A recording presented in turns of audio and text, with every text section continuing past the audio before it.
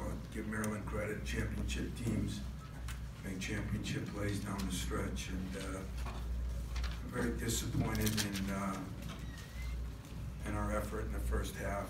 Um, I think they had eight offensive rebounds for the game, seven in the first eight minutes.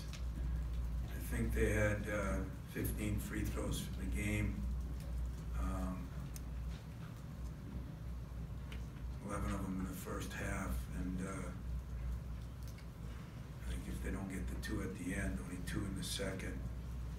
Um, I thought, for us, I thought Rocket Watts played unbelievable defense. Um, Cowan, you know, they hit four threes at the end, um, 12 points at the end. They scored 14 points in the last three minutes. They scored, what, 16 points in the first 30 or 14? 14. 14 points in the first, uh, Seventeen yeah, minutes. whatever. Whatever it was, uh, they deserved to win the game, we deserved to lose the game. Um, Wings didn't rebound. Uh, Xavier looks on paper, he had a good game, but he, uh, those plays at the end, the blurs, the, the, uh, the double screen on Rocket, uh, I probably played Xavier too much, he's got a lot going on, and he, he, uh, to just play it up to death, because we had to, so, um, I don't know, you probably got better questions than I got answers, but, you know, it's a shame too that, uh, I think we're down twenty-three to ten on the boards in front of my team that stood for rebounding. It's embarrassing. It's even more embarrassing when you lose by one which means the second half you out rebounded them by a ton. And, um, I don't know, anybody wants to know why I get on Aaron Henry? Well, you know, first half, not a rebound, second half, scores five, gets five. Uh, We just didn't play good enough. We didn't make some winning plays. I thought early we missed a lot of good shots. They were half down. But give Maryland all the credit. They, uh, you know, I love the way, uh, they did not take a lot of bad shots. And uh, we, had some guys taking threes that have no business taking threes. And um, it's okay when you're 10 up or 15 up, it's not okay when you're two up or three up. So, questions? Terp Talk is brought to you by Viener Four Gates Consulting. Call Viener Four Gates for all of your IT needs.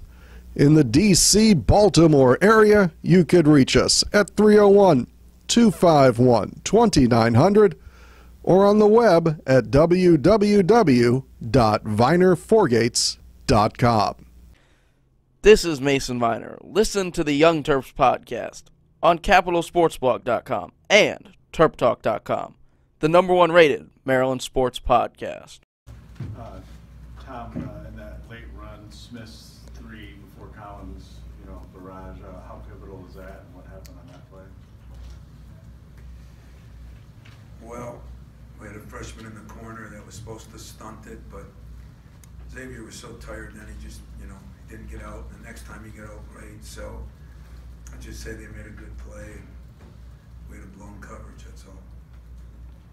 Coach, uh, obviously you haven't seen the film, but do you think this film, with the atmosphere and the way the guys fought, could be some good uh, tournament prep film?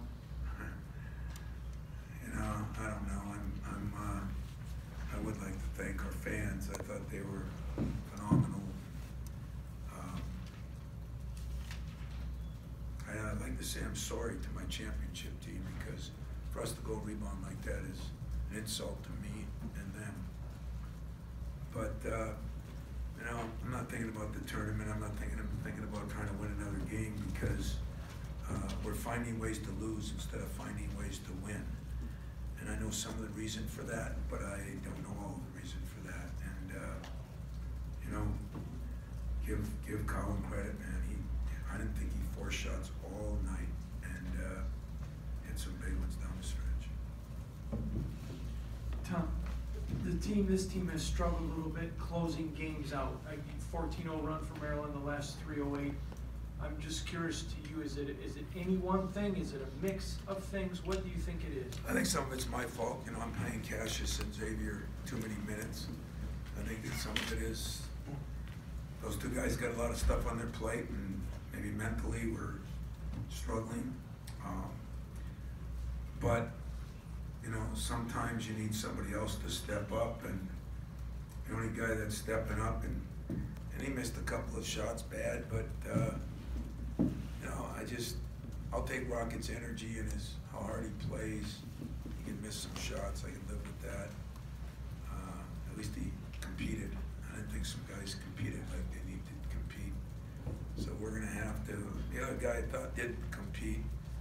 Don't know how many minutes he played, but I should have played him more. Kyle Ahrens went in and got some big rebounds and, um, did some things in traffic that he hasn't done since the Michigan game last year. And So, that was a positive and, uh, hopefully we'll build on that. Tom, how much of this is, we- we've talked about the Big Ten being something we've never seen before with, what, eleven teams maybe in the term.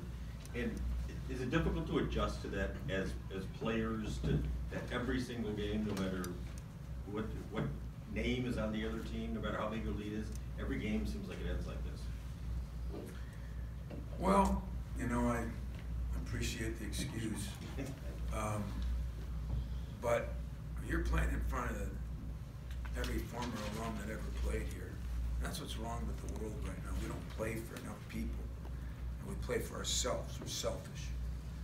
And, uh, you know, if you can't get fired up for that with the crowd the way it was, with game day here, with, then there's something wrong with your ticker. And that performance in the first half, that was something wrong with our ticker, which the only guy that has to take blame for that is me. And I'll be more than happy to take it. But, uh, no, that, that's not because there's a game every night. Um, example, Maryland has a game every night. You know, they're the only ones that have kind of sustained through it, but, uh, give them credit. They, uh, Mark did a hell of a job and, and, uh, you know, he's got two very good players, but I don't think his very good players that would beat you. I thought it was those other guys that guarded and checked and rebounded and, and did a lot of good things, you know. Everybody's got five, six, seven rebounds, they're athletes. Mine got one and two.